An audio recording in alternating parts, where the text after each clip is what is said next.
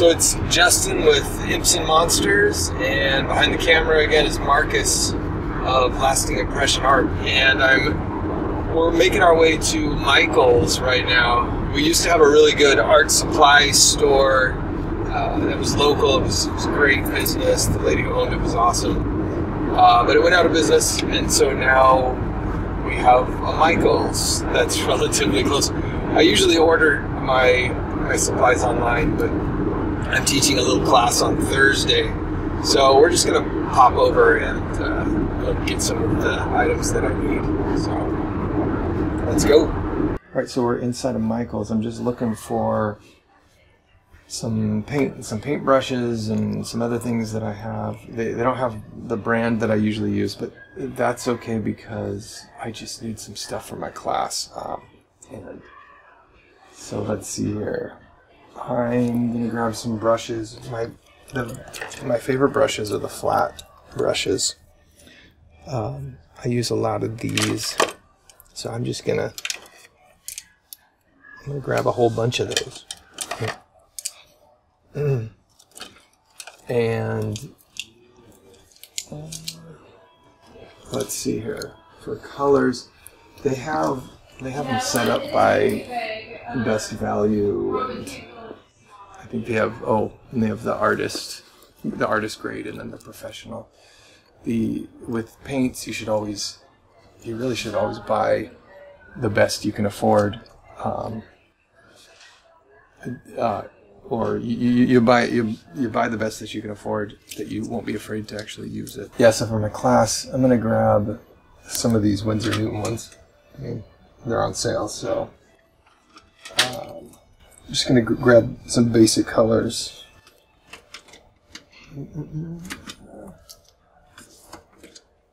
I've actually never used Winsor Newton. I usually use uh, M. Graham is the brand I usually use. I like the consistency of, of that. So, all right, get a handful of these and then I'll see what's next. We braved Michaels and made it out. Um, the line wasn't too bad and uh, everyone there was super friendly. So, um, Michaels not. It's a store that has art supplies. It's definitely not an art store, but I did find pretty much what I needed for my class. Uh, the there was a couple colors I, I, I really wanted the raw sienna. I I use raw sienna to, to do the underpainting on all my, my paintings, and in my class I have them do the same thing. And I all I could find was a little a little tiny uh, tube of that, so that was kind of a bummer, but that's all right. I got a bunch of cheap brushes that were the exact size I needed, and so all in all, it was a uh, it was a good trip, I think. All right, so we're back, and I have my my paint I just got, uh, and some of some paints I already had in my studio. Uh, the brand that I normally use is M. Graham. Um, I've been using that since almost uh, 12 years ago when I started painting again, and uh, basically, I guess when we're talking about acrylic paints, acrylic paints are uh, boiling it down to its simplest, um, it's there's two parts. So you've got the binder, which is uh, it's polymer based. It's basically plastic. That's why it's called acrylics. And then you've got the um, the uh, what is it called? Pigment. Pigment. You've got the pigment in there, um, and so you've got less expensive paints that use less pigment. Uh, with the binder, and you've got the more expensive paints that use more pigment. So you really are getting more. You're getting what you what you pay for.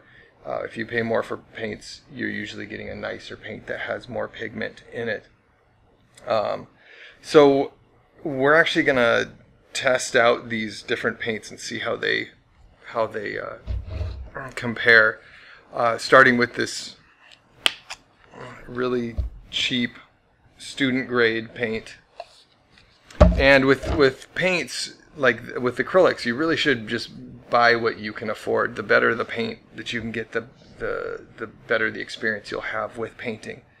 But uh, you can see here if I run that over the black, you can still see the black through it. I, I chose white because white is supposed to be a really opaque color anyway when you're using paints. Some some colors are more opaque than others, but white should be opaque. so that was our basically cheap, almost uh, well student or kids paint really. This is a studio acrylic from Blick. Uh, I buy a lot of my art supplies from dickblick.com. So you can see just coming out of the tube there, it's a little thicker. I'm going to grab some of that and pull it across. And you can already see there's a pretty big difference even just between those two, even though both of these are uh, student grade, really. Uh, these are, this is much better. Get my brush clean again. All right, so these this Winsor and Newton I've never used. I obviously I've used Winsor and Newton brand things before, like uh, uh, brushes and watercolors and all that, but I've never used Winsor and Newton acrylic paints before. So we will try those out. The other thing that good paints do are they they seem to mix better. They don't get as muddy when you when you mix them, and also the light fastness is better, which means they don't fade as easily in the uh, in the light. Let's see here. I'm having issues with my bristles there, but uh, you can see that that went on way smoother, and it's also a little more opaque as well. And then last, I'll try my, my usual brand that I use. Now the binder in acrylics, as I mentioned, is, a, is essentially plastic. The binder in oil paints is oils, and the that binder in the acrylics can't hold as much pigment as oils can, which is why with oils you get it's even more vibrant and acrylics you you tend to have to paint in more layers. So it's kind of interesting. All right so there's my my uh, M. Graham. Kind of laid it on a little thicker but here. Well that just um, just looking at them and and and laying it down like that I I still really like my my M. Graham. It it's uh, they're fairly affordable for what they are, and opaque and smooth, and they and they mix really well. So, all right, so we're on. Oh, hi. hi. Hi. Hey. So uh, we're we're here at Artist Alley at Emerald City Comic Con still. So uh, Still. here's here's Mike Mikeatron. Hi. Uh, can you just tell us a little bit about yourself and what you like to do? Yeah, so I think the best way to describe me is like I'm like Justin Hillgrove, but like a rude PG-13, maybe R-rated version of it. Uh, That's fair. yeah, which is actually a good thing. Uh, a lot of people, because we're in the we're in the Seattle area. Uh, a lot of times people, hey, do you know do you know Justin? And I'm like, yeah, he's my nemesis. He's really nice though. Yeah. Um, so wacky. Uh, I love dinosaurs, uh, but I my work's a lot about destruction, but also cuteness. So there's that element of like, oh, the unicorn is missing its head, but it's a really cute unicorn. nice. And uh, so, tell us a little bit about your your setup here. Uh, so it's I've been doing this for I think five or six years now. So one of the big things is like I'm actually doing less on my table, um, which actually people do want to like just see stuff. It's eye level. Um, so I got like the pro panels, and I've just got my work tacked up on there. Um, it's like velcroed on there, which is pretty sweet. Yeah. Um, and yeah, that's how I've been doing it. Um, it's pretty easy to set up and take down. So Hey, Do, do you have any favorite pieces you have out? Or? favorite pieces. That's like saying which of my children I like best. Um, of the originals, I think my favorite painting is actually the, the video drum painting, which is right here. If you want to scoot around there. Nice. uh, just because technically it's the best. I don't think it'll ever sell, um, but it's I, I like it. Is that best. is that the original? Yeah, this is the original. Oh, nice. And then what, what medium do you usually use? I usually use acrylic, uh, but I'm training myself more towards digital just because Okay. I don't have to clean up and take down. Yeah. It's faster. Um, uh, but I'm doing more right now. The thing that I'm actually uh, that I really like doing is I actually like making things. So buttons, enamel pins, like working with like different. Uh, you know, I'm like oh, this is gold. Okay, sweet. Right. It's got glitter on it. It's glow in the dark. Like Well, th- there's something very satisfying Yeah. I found of, of like even using the button maker. You know that little chunk. yeah, yeah. Um, even even a lot of people who come back year after year to my table, they're like, "Hey, uh, either I need to buy a bigger house or I need to get something that's not on my wall right. because I ran out of space." And so I have a lot of people that just, you know, every year they'll come by and they'll be like. I want a thing, but I don't have room. What do you got? So I want to wear it, or I want to put it on my body, or you know, I want it to be on my fridge, or something like that. Yeah. So All right. And well, and what's what sells your uh, best here? What's your best? Um, it's a combination. Uh, like I've got this is a new print this year, the Ghostbusters one. Um, it's selling pretty well. Link always sells well. uh, because that, I, Comic I remember that one because I had I had drawn something really similar. Oh, really? Except in my style, there was a little less blood. Of course. Um, but the concept was really similar. I'm like, I, I'm totally gonna do this because I love Link. yeah. And I saw that and I was like, oh, that's really good. Um, I guess I'll do something else. Uh, Yes, there's the one time I've but done yeah, he got me. Um, my nemesis. but the enamel pins are really hot this year too. Yeah. So um, I've had them for.